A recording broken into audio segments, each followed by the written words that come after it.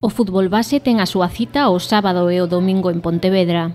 A categoría Benxamín disputará a fase final do torneo internacional organizado pola Escola de Fútbol Portero 2000. Na presentación do evento exerceu como padriño o futbolista do Celta de Vigo, Johnny, que lembrou os tempos nos que participaba neste tipo de competicións e animou os pequenos a disfrutalo.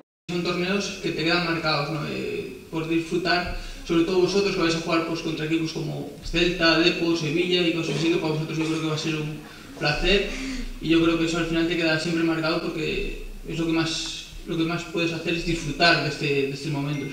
O actual campeón, o Benfica, defenderá o título ante o Sporting de Portugal, o Sevilla, o Athletic Club, a Real Sociedade, o Sporting de Gijón, o Celta e o Deportivo.